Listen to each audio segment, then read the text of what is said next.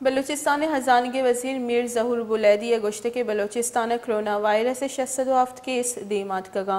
दुआजा जिला असरमंदा इबाबत दिलगोश चकीचा सरफराज शाह रिपोर्टर सूबाई वज़ीर खजाना मीर जहूर अहमद बुलेदैया मर्ची तुरबता यकरूची तरोताब को सूबाई मुशीर हकलियती उमूर दनेश कुमार आई अमराहत।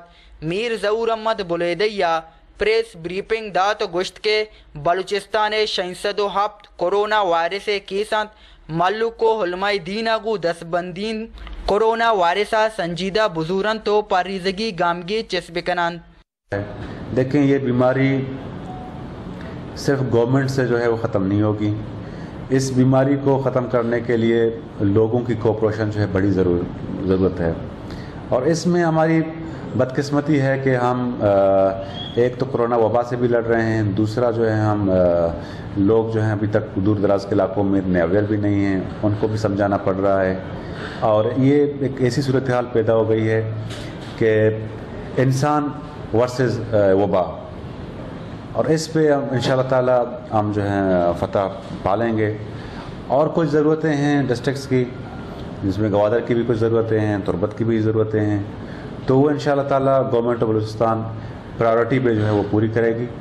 और हमारी कोशिश है कि हम जो हैं इस वबा के ख़िलाफ़ जितनी भी हमारे पास रिसोर्स हैं, उनको बरबरकार लाएँ और इस वबा पे जो है हम फतेहाब हों।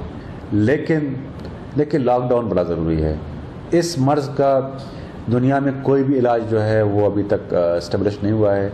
जिन मुल्कों ने लॉकडाउन पे अमल किया है, वो मुल्कें जो हैं इस मर्ज़ पे जो है काबू पा लिया है। जिन्होंने इसको लाइट लिया है, वो आज सफ़र कर रहे हैं। हज़ारों की तादाद में रोज़ाना की बुनियाद पे लोग मर रहे हैं। तो इसमें हमें जो है उन मुल्कों से सबक सीखना चाहिए, जो इस पर बखूबी, जो कामयाबी के साथ इसको, इस पर जो है उन्होंने अमल किया है। और वो एक ही इलाज है उसका लॉकडाउन एंड सोशल डिस्टेंसिंग हाइया दिमतरा गुश्त के लॉकडाउन वजह मकुरान डिवीज़न सियोहब तजार शहीसदो चिल्लोहश्त कांदाना, राशन दियक बुतगो एहसास इमरजेंसी केश प्रोग्राम तहता।